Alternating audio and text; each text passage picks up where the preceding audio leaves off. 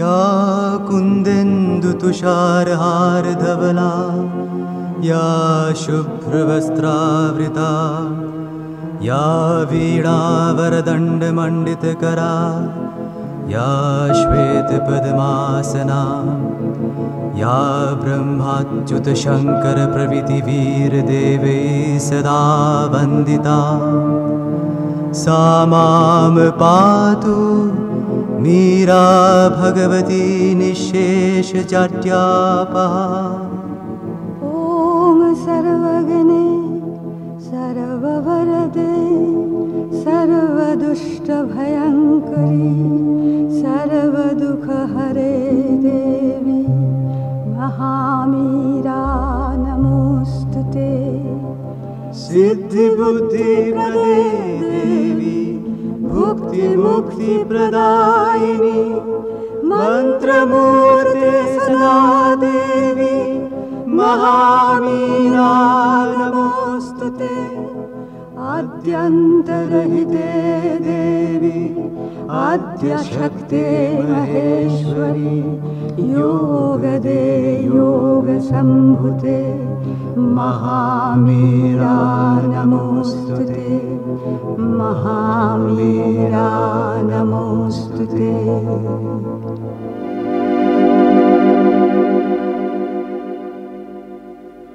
ମା ଆଜି ଆମେ ଆଲୋଚନା ଆରମ୍ଭ କରିବା ଚିରନ୍ତନୀ ବହିର ପୃଷ୍ଠ ଦୁଇଶହ ବାସ୍ତରୀ ଅର୍ଥ ଏକ ଅର୍ଥ ଶକ୍ତି ଚିରନ୍ତନୀ ପୃଷ୍ଠାର ଚିରନ୍ତନୀର ପୃଷ୍ଠ ଦୁଇଶହ ବାସ୍ତରୀ ଅର୍ଥ ଶକ୍ତି ଗତକାଲି ଆମେ ପଢିଥିଲେ ଦୁଇଶହ ଏକସ୍ତରୀ ଧନ ଏକ ଶକ୍ତି। ମା ଯୋଉ ଲେଖୁଥିଲେ ଧନ ଏକ ଶକ୍ତି ତାର ସାରାଂଶ ଥିଲା ଏଇଭଳି। ଧନ ଏକ ଶକ୍ତି ଏହା ପ୍ରକୃତିର ଏକ ଶକ୍ତି। ଏହା ଚଳମାନ ଠିକ ଯେପରି ଜଳ ପ୍ରବାହ ଚଳମାନ ଏହା ସେହିପରି ଏକ ଚଳମାନ ଏକ ଶକ୍ତି। ତାପରେ ବର୍ଣ୍ଣନା କରୁଛନ୍ତି ଚଳମାନ ହେବାର ଏକ ମାଧ୍ୟମ ହେବା ଉଚିତ। କୌଣସି ଦ୍ରବ୍ୟ ଉତ୍ପାଦନ ପାଇଁ କୌଣସି ବିଷୟ ସଂଗଠନ ପାଇଁ ଏହା ସାହାଯ୍ୟ କରେ। ଏହା ସେଥିପାଇଁ ଏକ ସୁଗମ ମାଧ୍ୟମ। ଏହି ଶକ୍ତି ସେଇମାନଙ୍କ ହାତରେ ରହିବା ଉଚିତ। ଯେଉଁମାନେ ଏହାର ସର୍ବୋତ୍ତମ ବ୍ୟବହାର କିପରି କରିବାକୁ ହୁଏ ଜାଣନ୍ତି। ସେମାନେ କେଉଁ କୋଉ ଭଳି ହେଇଥିବେ ନା ଯେଉଁମାନେ ନିଜ ଭିତରୁ ବ୍ୟକ୍ତିଗତ କାମନା ବାସନା ଦୂର କରିପାରିଛନ୍ତି। ସବୁ ପ୍ରକାର ଆସକ୍ତିରୁ ନିଜକୁ ମୁକ୍ତ କରିପାରିଛନ୍ତି। ପୃଥିବୀର ପ୍ରକୃତ ଆବଶ୍ୟକତା କଣ ତାହା ଯେପରି ସେମାନେ ଅନ୍ତର୍ଦୃଷ୍ଟିରୁ ଦେଖିପାରୁଥିବେ? ଆଉ ମଧ୍ୟ ସେମାନଙ୍କର ଏହି ସବୁ ଆବଶ୍ୟକତାକୁ କିପରି ଉପଯୁକ୍ତ ଭାବେ ସଂଗଠିତ କରିହେବ ସେ ସମ୍ବନ୍ଧେ ସମ୍ପୂର୍ଣ୍ଣ ଜ୍ଞାନ ଥିବା ଦରକାର। ଏବଂ ସେ ସବୁକୁ ପୂରଣ କରିବା ପାଇଁ ବ୍ୟବହାର କରିବାର ଉପାୟ ଜଣାଥିବା ଦରକାର। ସେସବୁ କହିଲେ ଏହା ସହିତ ସେମାନଙ୍କର ଏକ ଉଚ୍ଚତର ଆଧ୍ୟାତ୍ମିକ ଜ୍ଞାନ ଥିବ। ତାହେଲେ କଣ ହବ? ତେବେ ସେମାନେ ଏହି ଅର୍ଥ ଶକ୍ତିକୁ କ୍ରମେ କ୍ରମେ ପୃଥିବୀ ପୃଷ୍ଠରେ ଖଟାଇ ପାରିବେ। ଯେପରିକି ଏ ପୃଥିବୀ ଦିବ୍ୟ ସାମର୍ଥ୍ୟ ଦିବ୍ୟ ଶକ୍ତି ଓ ନିଜ ଉପରେ ଅଭିବ୍ୟକ୍ତ କରିବାର ସମର୍ଥ ହୋଇପାରିବ। ଦୁଇଶହ ବାସ୍ତରୀ ଅର୍ଥ ଶକ୍ତି ମା ଲେଖୁଛନ୍ତି ଅର୍ଥ ହେଉଛି ଏପରି ଏକ ଜଗତର ଅନ୍ତର୍ଭୁକ୍ତ ଯାହା ବିକୃତ ଭାବେ ସୃଷ୍ଟି ହୋଇଛି। ଏହି ଅର୍ଥ ଶକ୍ତି ରହିଛି ପ୍ରାଣ ଜଗତରେ। ଏକଥା ଶ୍ରୀରବୀନ୍ଦ୍ର କହିଛନ୍ତି ନୁହେଁ କି? ସେ କହିଛନ୍ତି ଯେ ଏହା ବର୍ତ୍ତମାନ ପ୍ରାଣ ଓ ଜଡ ଜଗତର କବଳରେ ରହିଛି। ତେଣୁ ସର୍ବଦା ସବୁ ଯୁଗରେ ଏହା ରହି ଆସିଛି। ଆସୁରିକ ଶକ୍ତିର ନିୟନ୍ତ୍ରଣ ଭିତରେ। ବର୍ତ୍ତମାନ ନିର୍ଦ୍ଦିଷ୍ଟ କର୍ତ୍ତବ୍ୟ ହେଉଛି ଏହି ଆସୁରିକ ଶକ୍ତି କବଳରୁ ଅର୍ଥ ଶକ୍ତିକୁ ପୁନରୁଦ୍ଧାର କରିବା।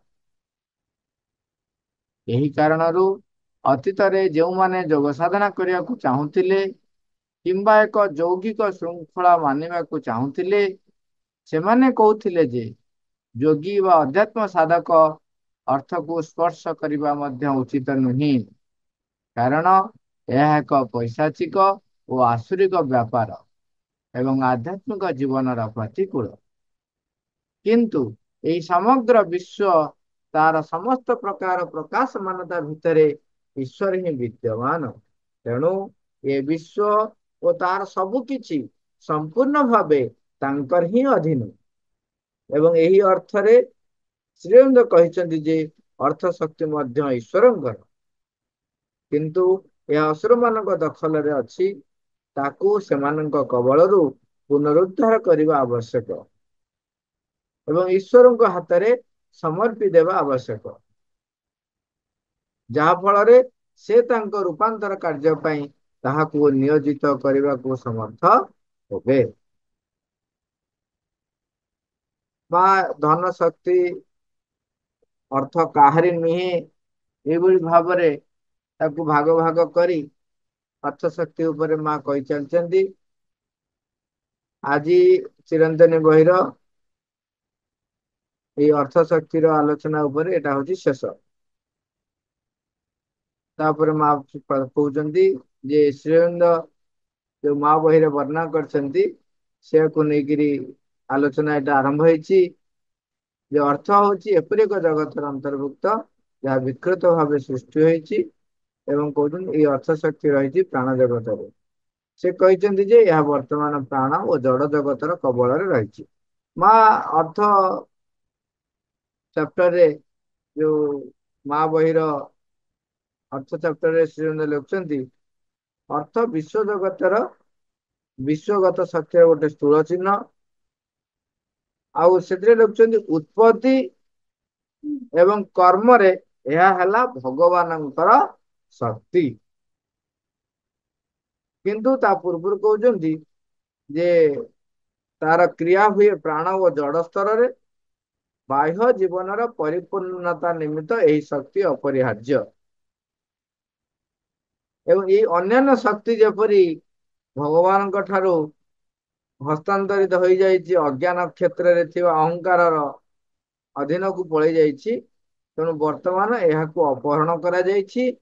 ଆସୁରିକ ପ୍ରଭାବ ଏହାକୁ ଅଧିକାର କରି ନିଜର ଉଦ୍ଦେଶ୍ୟ ସାଧନ ସକାଶେ ବିକୃତ କରିଛି ତେଣୁ ସେଇଠି ଯୋଉ ନିଜର ଅହଙ୍କାରକୁ ସାବ୍ୟସ୍ତ କରିବା ପାଇଁ ଆସୁରିକ ପ୍ରଭାବ ତାକୁ ଅଧିକାର କରି ଯୋଉ ବିକୃତ କରିଛି ସେଇ କଥାଟିକୁ ଆକୁ ମା ଏଠି ଉଲ୍ଲେଖ କରି ଟିକେ ଆଲୋଚନା ଭିତରକୁ ଆଣିବାକୁ ଆମ ପାଖରେ ପହଞ୍ଚେଇଛନ୍ତି ଆସୁରିକ ଶକ୍ତିକୁ ନିୟନ୍ତ୍ରଣ କରୁଛି। ବର୍ତ୍ତମାନ ସବୁ ଜାଗାରେ ଅର୍ଥ ଅନର୍ଥର କାରଣ ହେଇଯାଇଛି। ଏ ବିଷୟରେ ବି ଆଲୋଚନା ସରିଯାଇଛି।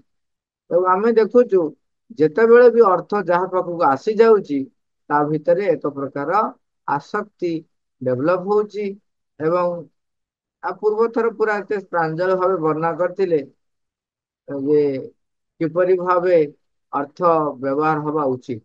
ଆମେ ଦେଖୁଛୁ ବାହାରେ ବର୍ତ୍ତମାନ ସବୁ ବା ନିଜ ଭିତରେ ବି ଦେଖନ୍ତୁ ଯଦି ପଇସା ଅଛି କେମିତି କଣ ଖର୍ଚ୍ଚ କରିବେ ସେ ବିଷୟରେ ଆମର ଚିନ୍ତା ମାଡି ପଡେ ଅନ୍ତର ପ୍ରେରଣାରୁ କିପରି ଖର୍ଚ୍ଚ ହେଇପାରିବ ସେ ବିଷୟରେ ମା ଆମକୁ ଅଧିକ ସତର୍କ କରାଉଛନ୍ତି ଏବଂ ସେ ଏଇଠି ଯୋଉ ଉଦ୍ଦେଶ୍ୟ କହୁଛନ୍ତି କଣ କହୁଛନ୍ତି ବର୍ତ୍ତମାନ ଆମର କର୍ତ୍ତବ୍ୟ ହଉଛି ଏଇ ଆସୁରିକ ଶକ୍ତି କବଳରୁ ଅର୍ଥ ଶକ୍ତିକୁ ପୁନରୁଦ୍ଧାର କରିବା। ପୁନରୁଦ୍ଧାର କରିବା ମାନେ ତା ପୂର୍ବରୁ କହିଲେ ଆ ପୂର୍ବ ଇଏରେ ଆମେ ସାରାଂଶ କହିଥିଲେ ଯେ ଆଧ୍ୟାତ୍ମିକ ଜ୍ଞାନ ଉଚ୍ଚ ଆଧ୍ୟାତ୍ମିକ ଜ୍ଞାନରେ ଆମେ ଯେତେବେଳେ ରହିକରି ଅର୍ଥକୁ ବ୍ୟବହାର କରିବା ଭଗବାନଙ୍କ ପାଇଁ ସେତେବେଳେ ତାହା ଆଶୁରିକ ଶକ୍ତିରୁ ମୁକ୍ତ ହେଇଯିବ। ତେଣୁ ସେ ବିଷୟରେ ଅଧିକ ଆମେ ମନେ ରଖିବା ଏବଂ ସଚେତନ ହବା। ଏଠି ଏଇ ଉଦ୍ଦେଶ୍ୟ ଟା କାହିଁକି କହିଲେ? ଯେ ଏଇ କଥାଟି କାହିଁକି କହିଲେ ଯେ ଆମକୁ ଆଶରିକ ଶକ୍ତି ଠାରୁ ଆକୁ ମୁକ୍ତ କରିବାକୁ ପଡିବ। ଭଗବାନଙ୍କ ନିମନ୍ତେ ଆକୁ ବିଜୟ ହାସଲ କରି ଆଣିବାକୁ ପଡିବ। କାରଣ ହଉଛି ଆଜି ପର୍ଯ୍ୟନ୍ତ ଯେତେବେଳେ ବି ଯିଏ ବି ଯୋଗ ସାଧନା କରିବାକୁ ଯାଉଛି ଏବେ ବି ଯଦି ଯୋଗ ସାଧନା କରିବାକୁ ଆମେ ଯିବା ଦେଖିବା ଯେ ଅର୍ଥ ଆମକୁ ଗୋଟେ ବାଧକ ସୃଷ୍ଟି ହେଇ ରହିଛି। ତାର କାରଣ ଆଜି ପର୍ଯ୍ୟନ୍ତ ସମସ୍ତେ ଦେଖିଛନ୍ତି। ଯେହେତୁ ଏହା ଆସୁରିକ ପ୍ରଭାବରେ ଅଧୀନରେ ରହିଛି। ତେଣୁ ଇଏ ଗୋଟେ ଶକ୍ତି ଗ୍ରହଣ କରି ରହିଛି ଯୋଉଟା କି ପୈଶାଚିକ ଓ ଆସୁରିକ ବ୍ୟାପାର। ତେଣୁ ସମସ୍ତେ କୁହନ୍ତି ଏଇଟା ହଉଛି ଆଧ୍ୟାତ୍ମିକ ଜୀବନର ପ୍ରତିକୂଳ। ତେଣୁ ଯୋଉ ଯୋଗୀ ମୁନି ଋଷି ମାନେ ଯୋଗ ସାଧନା କରନ୍ତି ସେତେବେଳେ ସମସ୍ତେ କୁହନ୍ତି ଯେ ଅର୍ଥ ଠାରୁ ଦୂରରେ ରହିବା ପାଇଁ। ଏଠି ବେଙ୍ଗ ର ଯୋଉ ଏକ୍ଜାମ୍ପଲ ଗୋଟେ ରଖା ହେଇଛି। ଘଟଣା ଘଟିଛି ଯେତେବେଳେ ଅର୍ଥ ଉପରେ ଆଲୋଚନା ହେଇଛି ସେତେବେଳେ କାହାଣୀ ସବୁ ଭିନ୍ନ ଭିନ୍ନ ଦିଆଯାଏ। ଏଥିରେ ଗୋଟେ କାହାଣୀ ଅଛି ଯେ ଯେତେବେଳେ ଏ, ଗୁରୁ ଶିଷ୍ୟ ଯାଉଛନ୍ତି ବାଟରେ ସେତେବେଳେ ଗୋଟେ ବେଙ୍ଗଟେ କଣ ହଉଛି ନା ଗୋଟେ ଜାଗାରେ ଖାଲି ଖପ ଖପ ହୋଇ ଡେଉଁଛି। ତେଣୁ ସେତେବେଳେ ଗୁରୁ ଶିଷ୍ୟ ପଚାରୁଛି ଯେ ଗୁରୁଦେବ ଇଏ ଗୋଟେ ଜାଗାରେ ନିର୍ଦ୍ଦିଷ୍ଟ ଜାଗାରେ କାହିଁ ବେଙ୍ଗ ଖାଲି ଉଚ୍ଚ ଉଚ୍ଚ ହଉଛି ଆଉ କୁଆଡେ ଯାଉନି? ସେଠୁ ଗୁରୁ କହୁଛନ୍ତି ଦେଖ ତା ତଳେ ନିଶ୍ଚୟ ଅର୍ଥ ଶକ୍ତି ରହିଛି। ଧନ କିଛି ରହିଛି ଯାହା ଫଳରେ ବେଙ୍ଗ ଏମିତି ଉନ୍ମତ୍ତ ହେଇ ଡିଆଁ ଡେଇଁ କରୁଛି। ତାପରେ ଶିଷ୍ୟ କହୁଛନ୍ତି ପରୀକ୍ଷା କରିବା ପାଇଁ ଯାଇ ଖୋଳୁଛନ୍ତି ଦେଖୁଛନ୍ତି ସତରେ ତା ତଳେ ଅର୍ଥ ରହିଛି। ଧନ କିଛି ପୂର୍ବ ଧନ ପୂର୍ବରୁ ସଞ୍ଚିତ ହେଇ ରହିଛି। ଇଏ ଏକ ସିମ୍ବଲିକ ଗପ ହେଇପାରେ ବା ସତ୍ୟ ହେଇପାରେ କିନ୍ତୁ ଏହା ସିମ୍ବଲାଇଜ କରୁଛି ଏଇଆ ଯେ ସେତେବେଳେ ଯୋଉମାନେ ବି ସାଧନା କରୁଥିଲେ ଯୋଗୀ ମାନେ ଋଷି ମାନେ ଅଧ୍ୟାତ୍ମ ସାଧକ ମାନେ ସେମାନେ କହୁଥିଲେ ଯେହେତୁ ଅର୍ଥ ଏକ ଆସୁରିକ ଶକ୍ତିକୁ ବହନ କରି ରହୁଛି ତେଣୁ ଯଦି ସେ ତୁମ ପାଖକୁ ଆସିଲା ତେବେ ତୁମେ ଅଧ୍ୟାତ୍ମ କ୍ଷେତ୍ରରୁ ତୁମେ ବିଚ୍ୟୁତ ହେଇଯିବ।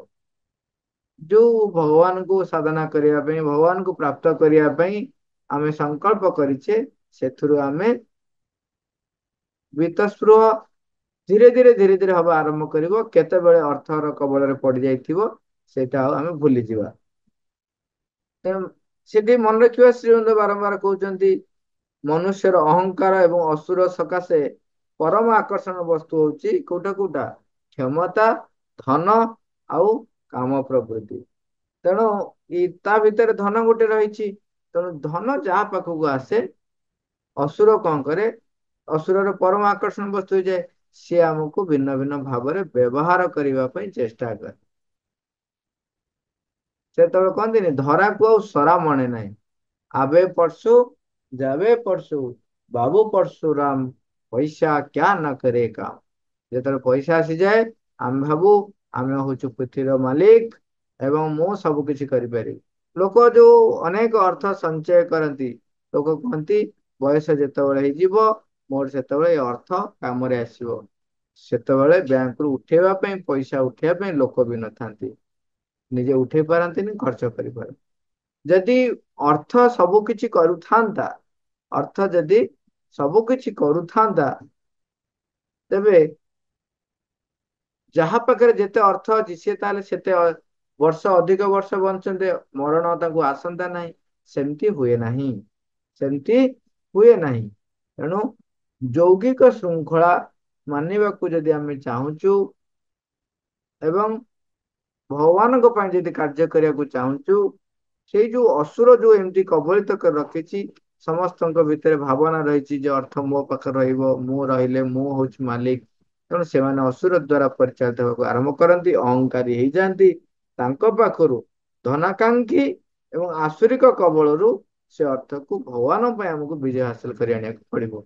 ସେଥିପାଇଁ ମା ପ୍ରଥମ ଲାଇନରୁ କହୁଛନ୍ତି ଏହି ସମଗ୍ର ବିଶ୍ଵ ତାର ସମସ୍ତ ପ୍ରକାର ପ୍ରକାଶମାନତା ଭିତରେ ଈଶ୍ୱର ହିଁ ବିଦ୍ୟମାନ। ତେଣୁ ଏ ବିଶ୍ଵ ଓ ତାର ସବୁ କିଛି ସମ୍ପୂର୍ଣ୍ଣ ଭାବେ ତାଙ୍କର ହିଁ ଅଧୀନ। ତେଣୁ ଏଇ ଅର୍ଥ ପ୍ରତି ଯୋଉ ଆମର ଏକ ଦୃଷ୍ଟିକୋଣ କଣ ହବା ଉଚିତ ତାକୁ ସ୍ପଷ୍ଟ କରିଦଉଛନ୍ତି। ସେ କହୁଛନ୍ତି ତୁମେ ସେ ସେଇ ଯୋଉ ଭାବ ନାହିଁ ଯେ ଅର୍ଥ କେବଳ ସେଇ ପୈଶାଚିକ ଏବଂ ଆସୁରିକ ଶକ୍ତି କେବଳ ରହିଛି ଏବଂ ରହିଥିବ। ହଁ ଯଦିଓ ଏହା ଦୀର୍ଘ ଦିନ କାଳ ରହିଛି ଅସୁର ମାନଙ୍କ ଦଖଲରେ ଅଛି କିନ୍ତୁ ମା ଶ୍ରୀମନ୍ଦ ଲେଖୁଛନ୍ତି ମା କହୁଛନ୍ତି ସେଇଟାକୁ ସେଥିପାଇଁ। ଏଇ ଅର୍ଥରେ ଶ୍ରୀମନ୍ଦ କହୁଛନ୍ତି ଯେ ଅର୍ଥ ଶକ୍ତି ହଉଛି ଈଶ୍ୱରଙ୍କର। ଈଶ୍ୱରଙ୍କର ଅଧୀନ। ତେଣୁ ତାକୁ ଆମକୁ ବିଜୟ ହାସଲ କରି ଆଣିବାକୁ ପଡିବ। କଣ କରିବେ? କେମିତି କରିବେ? ଏ ଆମେ ମନେ ରଖିବା ଉଚିତ ଯେ ସବୁ ଧନ ସମ୍ପତ୍ତି ହଉଛି କାହାର? ଭଗବାନଙ୍କର ସବୁ ଧନ ସମ୍ପତ୍ତି ଭଗବାନଙ୍କର ଏବଂ ଯୋଉମାନେ ଏଇ ଜିନିଷ ରଖି ଯୋଉମାନଙ୍କ ପାଖରେ ଏଇ ଜିନିଷ ରହିଛି ସେମାନେ ହଉଛନ୍ତି ତାର ରକ୍ଷକ ମାତ୍ର ସେଠି ଗୋଟେ ବଢିଆ ୱାର୍ଡ କହୁଛନ୍ତି ଟ୍ରଷ୍ଟି ରକ୍ଷକ ବା ଟ୍ରଷ୍ଟି ମାତ୍ର ମାଲିକ ନୁହନ୍ତି କିନ୍ତୁ ଅନେକ ଜାଗାରେ ଆପଣ ଦେଖିବେ ଯୋଉ ଟ୍ରଷ୍ଟ ର ଯିଏ ଟ୍ରଷ୍ଟି ହେଇଥାଏ ସିଏ ଭାବେ ମୁଁ ହଉଛି ମାଲିକ ଟ୍ରଷ୍ଟି ଶବ୍ଦର ଅର୍ଥ ହିଁ ହଉଛି ତୁମେ ଟ୍ରଷ୍ଟ ଅର୍ଥ ହଉଛି ଏକ ଦୃଢ ବିଶ୍ୱାସ। ଯାହା ଉପରେ ଦୃଢ ବିଶ୍ୱାସ କରାଯାଏ ଯାହା ଉପରେ ଦୃଢ ବିଶ୍ୱାସ କରାଯାଏ ସିଏ ଟ୍ରଷ୍ଟି ବୋଲି ତାକୁ କୁହାଯାଏ। ତେଣୁ ଯୋଉଠି ଯାହାକୁ ମ୍ୟାନେଜିଂ ଟ୍ରଷ୍ଟି କହୁଛନ୍ତି ତାମାନେ ସେ ମ୍ୟାନେଜର ବା ପରିଚାଳନାଗତ ଦୃଷ୍ଟିକୋଣରୁ ତା ଉପରେ ସବୁଠାରୁ ବିଶ୍ୱାସ କରିହବ। କିନ୍ତୁ ସେଇ ଟ୍ରଷ୍ଟି ମାନେ ଭାବନ୍ତି ମୁଁ ହଉଛି ଧନର ମାଲିକ। ତାଙ୍କୁ ଦାୟିତ୍ୱ ଦିଆହେଇଛି। ଟ୍ରଷ୍ଟି ହଉଛନ୍ତି ଗୋଟେ ଜାଗାର ଯୋଉ ଯୋଉ ପ୍ରକାର କାର୍ଯ୍ୟ ହଉ ପରିଚାଳନାଗତ ଦୃଷ୍ଟିରୁ ହଉ ଅର୍ଥଗତ ଦୃଷ୍ଟିକୋଣରୁ ହଉ ସବୁ ଦୃଷ୍ଟିକୋଣରୁ ତାକୁ ଇଏ ସମ୍ପତ୍ତି ହଉଛି ଆଉ ଜଣଙ୍କର ଟ୍ରଷ୍ଟିର କାମ ହଉଛି ଟ୍ରଷ୍ଟିକୁ ଦିଆ ହେଇଛି ସୁପରିଚାଳନା କରିବା ପାଇଁ। ସିଏ ତାର ମାଲିକ ନୁହନ୍ତି କିନ୍ତୁ ଯେହେତୁ ଏ ଅର୍ଥ ସହିତ ଅସୁରର ଏକ ଆକର୍ଷଣ ପରମ ଆକର୍ଷଣ ରହିଛି ତା ଭିତରେ ସାଙ୍ଗେ ସାଙ୍ଗେ କଣ ହୁଏ ଯିଏ ବି ଯେକୌଣସି ଜାଗାରେ ଟ୍ରଷ୍ଟି ହେଇଯାଏ ସେ ଭାବେ ମୁଁ ହଉଛି ମାଲିକ। ସେଥିପାଇଁ ଯୋଉ ଚିତ୍ରଟି କୁହାଯାଇଛି ସବୁ ଜାଗାରେ ଗଛ ଉଠୁଛି ଗଛ ଉଠୁଛି ମାନେ ଆମ ଭିତରେ ଯେମିତି ଅଙ୍କୁରୋଦ୍ଗମ ହେଲା ଭଳିଆ ଭଗବାନଙ୍କ ଶକ୍ତି ଅଙ୍କୁରୋଦ୍ଗମ ହଉ। ଆମେ ଅର୍ଥକୁ ଏଇ ସୃଷ୍ଟିର ସର୍ଜନା ପାଇଁ ପୂର୍ବ ଥର ଆଲୋଚନା ହେଇଛି। ବାରମ୍ବାର ସେ କଥାକୁ କହିବାକୁ ପଡୁଛି ଯେ ଭଗବାନଙ୍କୁ ଏଠି କେତେ ପ୍ରକାର କାର୍ଯ୍ୟ କରିବାକୁ ଆସିଛନ୍ତି। ଭଗବାନଙ୍କୁ ଇଏ କିପରି ପୂର୍ଣ୍ଣ ଭାବରେ ପରିପ୍ରକାଶ କରିବାର ଏକ ମାଧ୍ୟମ ରୂପେ ବ୍ୟବହୃତ ହବ ଅନ୍ୟାନ୍ୟ ଶକ୍ତିକୁ କିପରି ସମସ୍ତଙ୍କ ପାଖରେ ପହଞ୍ଚେଇବ ସେଥିପାଇଁ ଏ ଏକ ମାଧ୍ୟମ ହଉ। ରୂପାନ୍ତର କାର୍ଯ୍ୟ ପାଇଁ ତାକୁ ନିୟୋଜିତ କରିବାକୁ ଆମେ ଯେପରି ସମର୍ଥ ହବା ସେଇ କଥାଟିକୁ ଆମକୁ ମନେ ରଖିବାକୁ ପଡିବ। ମାନେ ଲେଖୁଛନ୍ତି ବିଶ୍ଵ ଓ ତାର ସବୁ କିଛି ସମ୍ପୂର୍ଣ୍ଣ ଭାବେ ତାଙ୍କର ହିଁ ଅଧୀନ। ଏଇ କଥାଟି ଯେତେବେଳେ ଆମେ ମନେ ରଖିବା ଯେ ଯଦି ସବୁ ହଉଛି ତାଙ୍କରି ଅଧୀନ ତାହେଲେ ଅର୍ଥ ଶକ୍ତି ବି ତାଙ୍କରି ତେଣୁ ଆମକୁ ବୈରାଗୀ ପରି ସେଥିରୁ ମୁଖ ଫେରାଇ ନବା ନାହିଁ। କଣ କରିବା? ତାର ଦାସ ହବା ନାହିଁ। ମାଙ୍କ ପାଇଁ ତାକୁ ଜୟ କରିବା।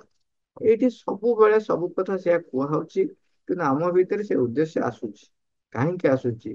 ତାର କାରଣ ଆଜି ଆମେ ଶ୍ରୀମାନଙ୍କର ମୂଳ ବଙ୍ଗଳା ରଚନା ବଳିରେ ପଢୁଥିଲୁ। ଆମ ଭିତରେ କଣ ହଉଛି? ତର୍ଜମା କରିବାର ସାମର୍ଥ୍ୟ ଥିଲେ ମଧ୍ୟ ଆମେ ତାକୁ ବ୍ୟବହାର କରୁନୁ। ଆମେ ଆଳସ୍ୟ ହେଇକରି କଣ କରୁଛୁ? ନା ସହଜ ବାଟରେ ହଁ ସେ ଚାଲ।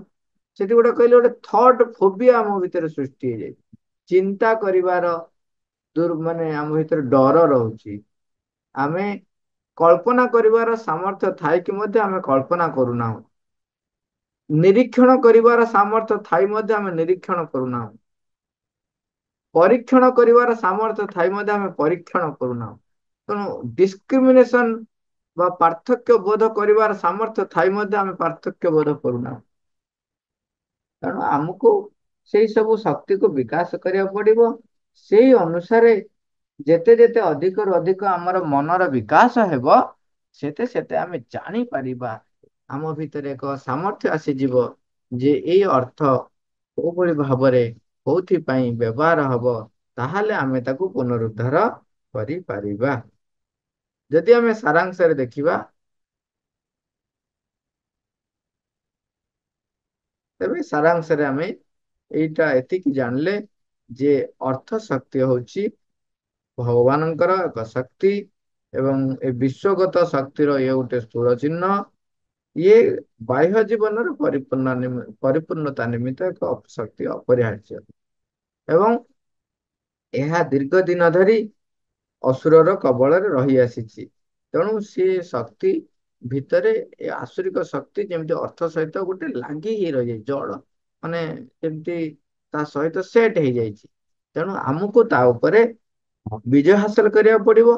ଭଗବାନଙ୍କ ପାଇଁ ତାକୁ ବିଜୟ ହାସଲ କରି ଆଣିବାକୁ ପଡିବ। ରୂପାନ୍ତର କାର୍ଯ୍ୟ ପାଇଁ ତାକୁ ନିୟୋଜିତ କରିବାକୁ ସମର୍ଥ ଆମେ ହବା ସମର୍ଥ ଏବଂ ତାକୁ ବ୍ୟବହାର କରିବା। ମାଙ୍କ ପାଇଁ ପୁନର୍ବାର ତାକୁ ଜୟ କରି ଆଣିବା ତାକୁ ତାଙ୍କର ସେବାରେ ଅର୍ପଣ କରିବାକୁ ହେବ। ଶ୍ରୀମନ୍ଦ ଲେଖୁଛନ୍ତି ଅର୍ଥକୁ ଏହି ଦୃଷ୍ଟିରେ ଦେଖ ଏବଂ ଅଧ୍ୟାତ୍ମ ମାର୍ଗର ଆତ୍ମସଂଯୋଗ ଆତ୍ମସଂଯମ ଅନାସକ୍ତି ଏବଂ ତ୍ୟାଗ ଇଏ ସବୁ କୋଉଥିରେ ରହିବ? ଅଧ୍ୟାତ୍ମ ମାର୍ଗ ଯେତେ ଆମେ ପ୍ରବେଶ କରୁଛୁ ଏସବୁ ଆମ ଭିତରେ ରହିଲେ ଆମେ ନିଜ ପାଇଁ ଆଉ ଅହଙ୍କାର ସେବା ପାଇଁ ଆଉ ଅର୍ଥକୁ ବିଜୟ କଣ ଆଣିବାନି ଆଣିବା କଣ ପାଇଁ? ନା ସ୍ୱାଭାବିକ ଭାବରେ ଆମର ଯେହେତୁ ଆତ୍ମସଂଯମ ଆସିଯାଇଥିବ ଅନାସକ୍ତି ଆସିଯାଇଥିବ ଏବଂ ତ୍ୟାଗ ଉପରେ ଆମର ଏକ ପାର୍ଥକ୍ୟ ବୋଧ ଯୁକ୍ତ ଜ୍ଞାନ ରହି ଆସିଥିବ ସେତେବେଳେ ଆମେ ସେଇ ଅର୍ଥ ଶକ୍ତିକୁ ବିଜୟ କରି ଆଣିବା ମାଙ୍କ ନିମିତ୍ତ। ତେଣୁ ଏ ଧନ ବଳ ଆଉ ଦାନବ ଶକ୍ତି ହାତରେ ରହିବ ନାହିଁ କାରଣ ଏହାର ମାଲିକ ହଉଛନ୍ତି ଭଗବାନ। ଏ ଭାଗବତ ଜୀବନ ନିମିତ୍ତ ପୁନରୁଦ୍ଧାର ହବ ଭାଗବତ ଭାବରେ ତାର ବ୍ୟବହାର ହବ।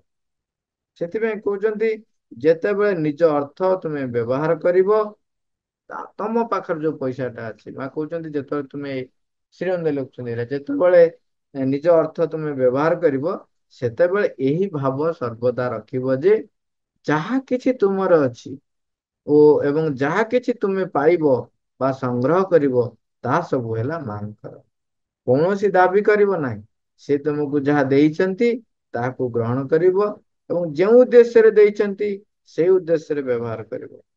ତେଣୁ ତୁମକୁ ସମ୍ପୂର୍ଣ୍ଣ ନିସ୍ୱାର୍ଥ ଏକ ଯଥାଯଥ ହିସାବୀ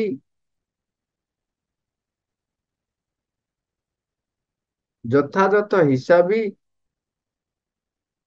ତୁମକୁ ସମ୍ପୂର୍ଣ୍ଣ ନିଃସ୍ୱାର୍ଥ ଏକାନ୍ତ ନ୍ୟାୟନିଷ୍ଠ ଯଥାଯଥ ହିସାବୀ ପୁଙ୍ଖାନୁପୁଙ୍ଖ ଦର୍ଶୀ ଉତ୍କୃଷ୍ଟ ରକ୍ଷକ ହେବାକୁ ହବ ସର୍ବଦା ମନେ ରଖିବ ସମ୍ପତ୍ତି ତାଙ୍କର ତୁମେ ବ୍ୟବହାର କରୁଛ ଏଇଟା ତୁମ ନିଜର ହିଁ। ପକ୍ଷାନ୍ତରେ ତୁମେ ତାଙ୍କ ପାଇଁ ଯାହା କିଛି ପାଅ ସେ ସବୁକୁ ପରମ ଶ୍ରଦ୍ଧା ସହ ତାଙ୍କ ପାଖରେ ନିବେଦନ କରିବ।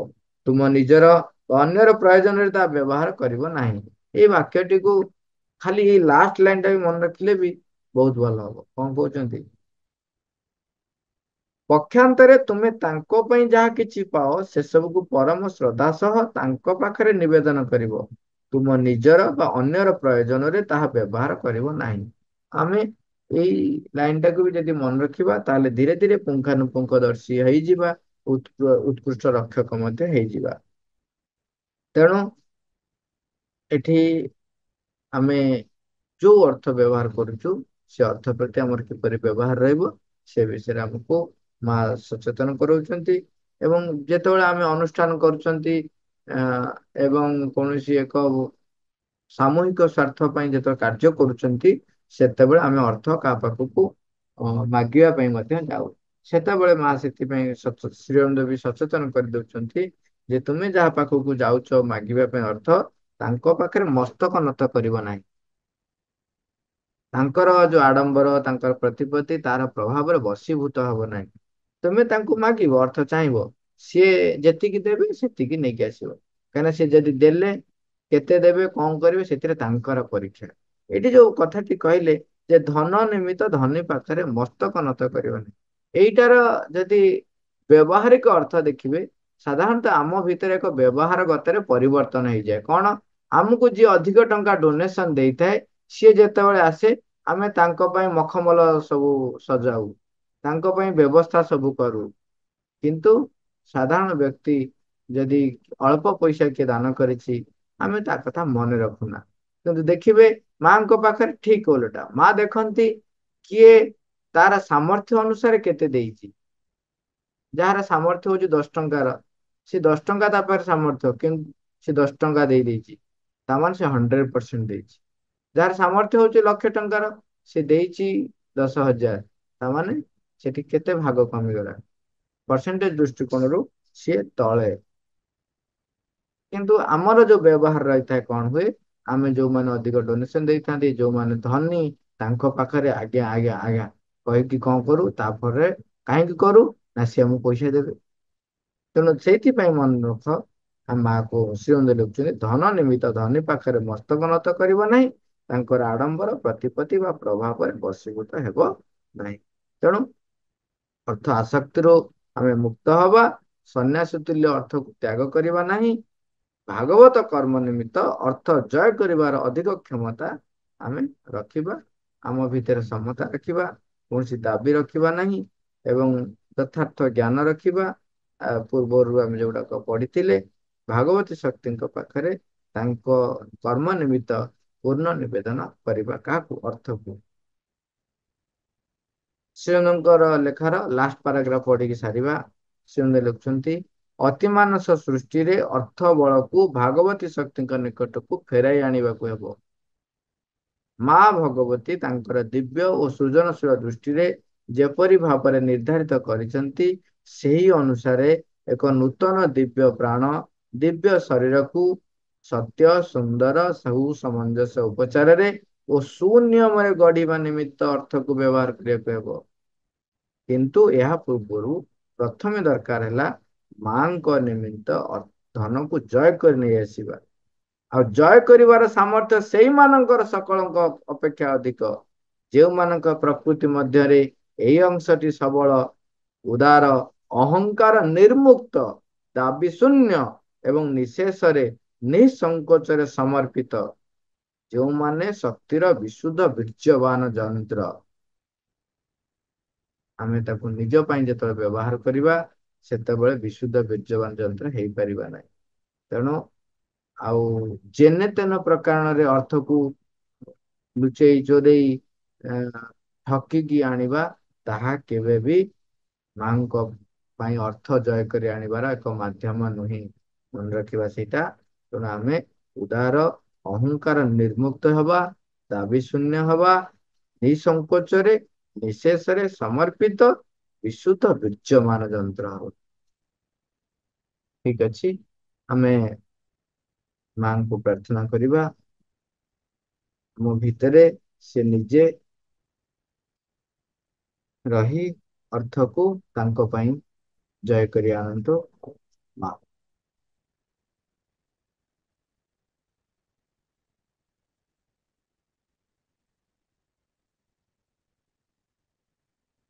Thank you all, Robert.